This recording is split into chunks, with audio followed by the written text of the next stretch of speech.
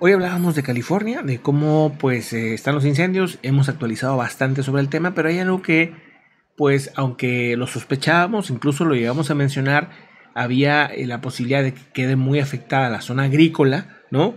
Ya ahora hay un reporte en el que los valles agrícolas del centro de California, debido a la sequía, no tanto a los incendios, pero sí a la sequía, podían generar una, una falta de suministros en algunos alimentos a los Estados Unidos, ¿no? Sí, sí, recuerdan, bueno, pues ahí se cultivan cosas como las naranjas, creo que las almendras también. Mm. Bueno, muchos mexicanos, muchos, este, pues sí, nada más mexicanos, Paisanos, paisanos, sudamericanos, centroamericanos más bien, viajan a trabajar en estos lugares. Pues bueno, eh, hay un problema, no nada más por la sequía, sino porque la- el mismo gobierno le ha dado eh, preferencia al agua de las ciudades. Claro. Entonces les ha cortado el suministro a lo que son a la agricultura. Entonces ellos mismos han tenido que eh, invertir en hacer pozos a ver si encuentran agua.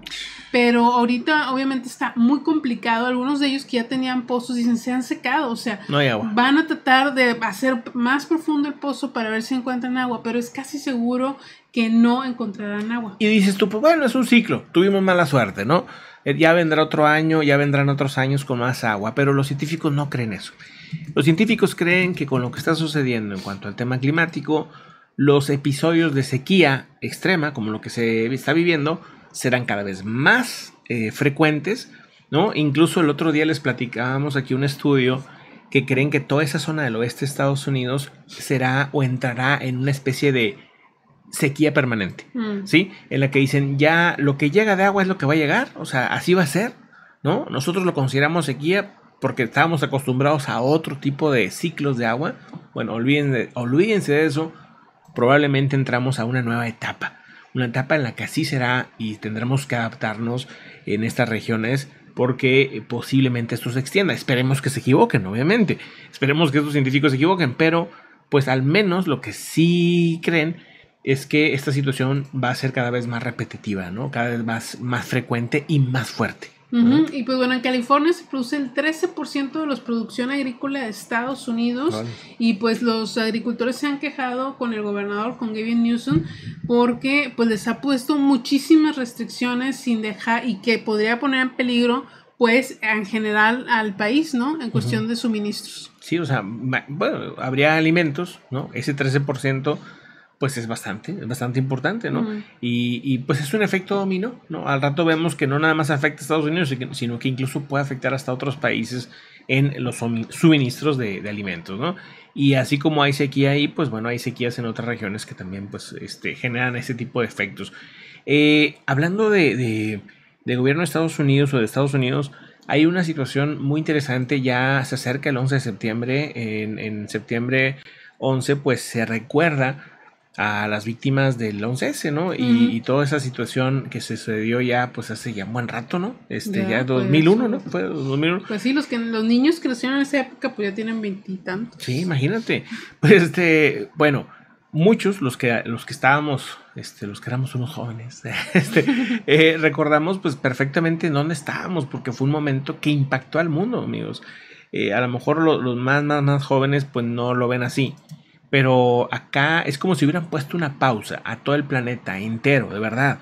Este, estaba transmitiéndose en vivo una tragedia tremenda, eh, un suceso que llenó de controversia las redes. Estaban pues en sus principios, bueno, ya tenía algunos años el Internet, pero no era lo que es ahora.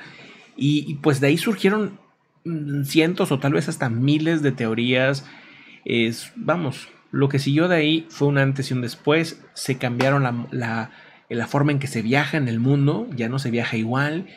Eh, este, pues sí, se aumentaron los niveles de seguridad, cambiaron muchas cosas. Hay un antes y hay un después de ese día. Y, bueno, pues a pesar del tiempo, a pesar de, de, todo lo que se sabe del suceso, siguen muchas cosas siendo un secreto. Y tan es así que las, las familiares de las víctimas han dicho al gobierno de Estados Unidos que no iban a ir al memorial uh -huh. si no revelaban los secretos. Uh -huh. Han pedido que se desclasifique los documentos, sobre todo una parte que dicen ellos que se dice quiénes son los líderes saudíes que apoyaron este acto terrorista y que bueno, hasta ahorita está siendo, pues estos documentos no están clasificados. Eh, hoy Bin, este, oh, Laden iba a decir, este Biden, dice, mi administración está comprometida a garantizar el máximo grado de transparencia bajo la ley.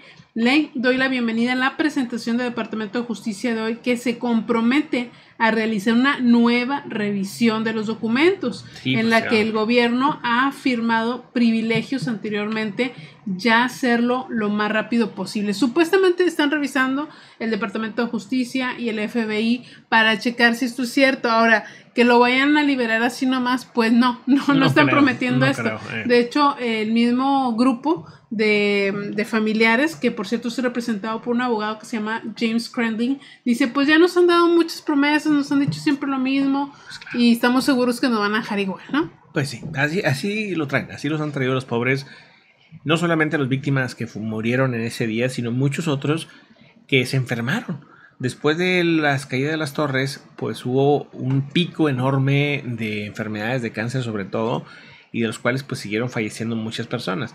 Realmente hay mucho que no se sabe, eh, pues seguirán quedando las dudas ahí. Definitivamente pues se merecen estas familias la información, pero por otro lado, pues son familias, las que pudieron haber apoyado este acto, son familias súper poderosas que tienen relación también pues con los negocios de Estados Unidos y pues por ahí posiblemente no, no quieran meterse, ¿no? y que no nada más los únicos afectados son las eh, familias de la gente que falleció y el mundo en general, pues se vivió una guerra se hizo una guerra a partir de eso. Bueno, una ¿Y guerra cuánta que gente fallece? Todavía está generando problemas. Afganistán. Este, sí, todavía está ahí con el problema. Bueno, vamos pues a otro asunto, como quiera, este, iremos actualizando esta situación. Hay eh, un tema también importante, y hablando ahorita del ejército y todo esto de Estados Unidos, eh, o de más bien del gobierno de Estados Unidos, eh, pues este mismo va a ser obligatoria la vacuna para los militares. El Pentágono básicamente pues está ordenando, ¿no? Que todos los que son parte de la milicia de los Estados Unidos deban de tener o deban de aplicarse la vacuna anti-COVID, ¿no? Básicamente les han puesto el plazo hasta el 15 de septiembre para estar vacunados contra el COVID.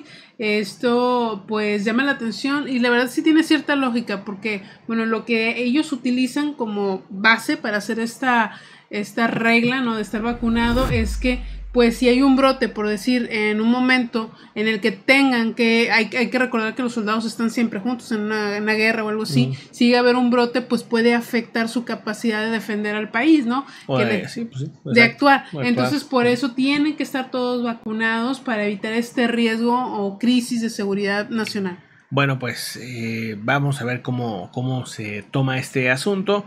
Mientras tanto, vamos ahora sí a otra información.